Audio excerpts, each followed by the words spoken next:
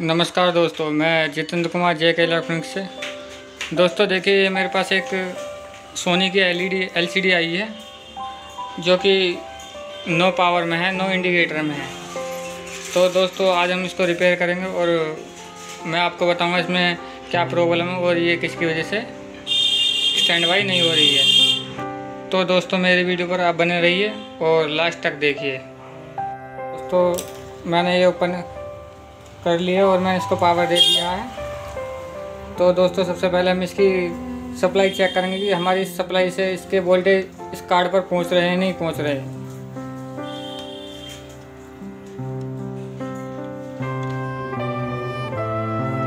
देखिए, इस कार्ड पर हमारे 3.3 वोल्टेज पहुँच रहे हैं।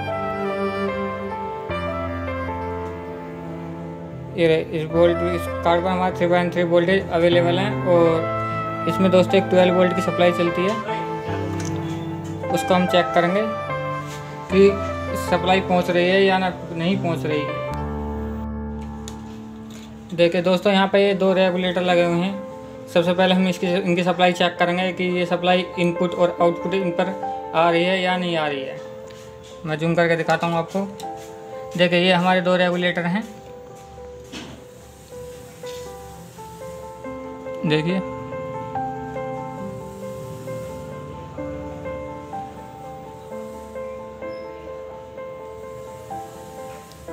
इस पर हमारे इनपुट जो सप्लाई आ रही है हमारी 12 वोल्टेज की सप्लाई आ रही है। और उसके बाद ये आउट कर रहा नहीं कर रहा है, देखिए।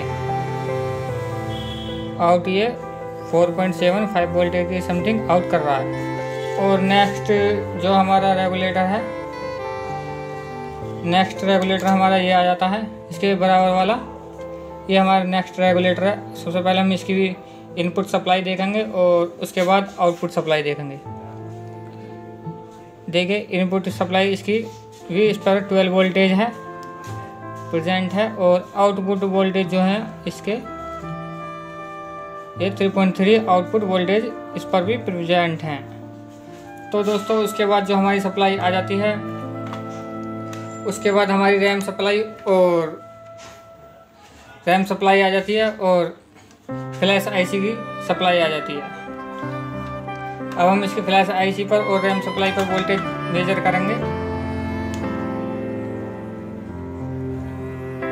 इसकी यहाँ पर जो है, ये 1.8 वोल्टेज इस पर मिलने चाहिए हमें, और इनपुट हमें इस पर 12 वोल्ट ही मिलने चाहिए।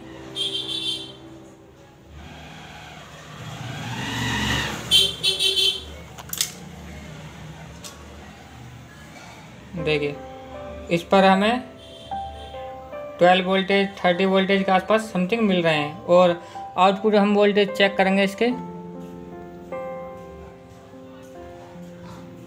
1.8 जो कि हमारे इतने ही वोल्टेज होने चाहिए 1.8 वोल्टेज इस पर हमारे प्रेजेंट है। देखिए, ये नो इंडिकेटर में है और उसके बाद जो हमारी इसकी सप्लाई आ जाती है हमें इसकी सप्लाई चेक करनी होगी कि इस पर प्रेजेंट है या नहीं है। तो दोस्तों, हम हमें इस पर चेक करनी होगी इसकी सप्लाई पर, इस रैम, इस पर, फ्लैश आईसी पर, कि हमारे इस पर वोल्टेज प्रेजेंट है या नहीं है। जो हमारे इस पर जो वोल्टेज आएँगे दोस्तों, इस पर ये 3.3 वोल्टेज हमारे ये वाले इस पर आएँगे। तो यहाँ पे एक हमारे यहाँ पे चेक करने हैं, देखिए। यहाँ पर इस पर 3.3 वोल्टेज हमारे प्रेजेंट है। जो कि हमारे इस आईसी पर पहुँच रहे हैं। यहाँ पर हमारा एक और रेगुलेटर लगा हुआ है। तो सबसे पहले हम इस रेगुलेटर की भी सप्लाई चेक करेंगे।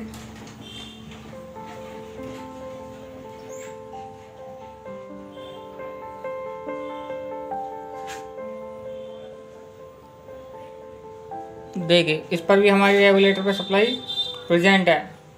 इनपुट 12 वोल्टेज और आउटपुट चेक करेंगे। देखिए आउटपुट वोल्टेज इस पर कोई आउटपुट वोल्टेज नहीं शो हो रहा है दोस्तों।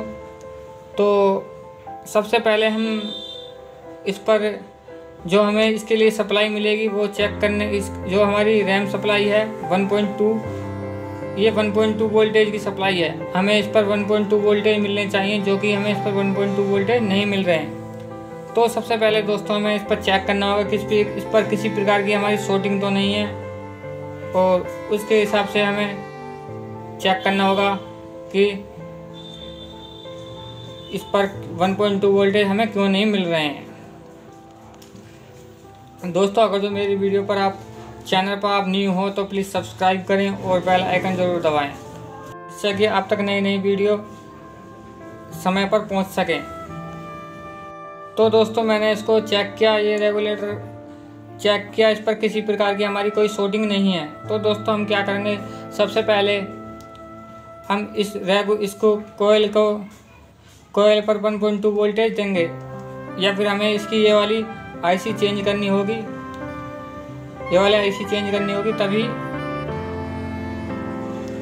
इस पर चेंज करके हमें देखना होगा कि हमारे 1.2 वोल्टेज बनते हैं या नहीं बनते हैं, या फिर इस पर हमें एक रेगुलेटर लगाना होगा 1.2 वोल्ट का।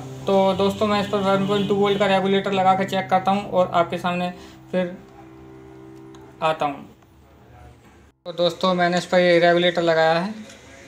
इसको दोस्तों मैंने इनपुट जो है 12 वोल्टेज दिए हैं और यहाँ से इसको मैंने 12 वोल्टेज की सप्लाई दी है इस रेगुलेटर को। और दोस्तों इस पर मैंने एक कोई जंपर नहीं किया किया है। क्योंकि ये डायरेक्टली हमें 1.2 वोल्टेज आउट करता है।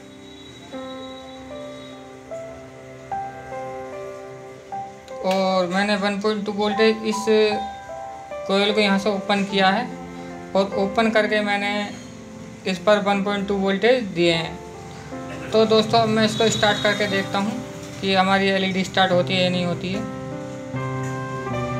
देखिए दोस्तों, मेरी एलईडी स्टार्ट हो चुकी है। इसमें ग्रीन इंडिकेटर आ चुका है।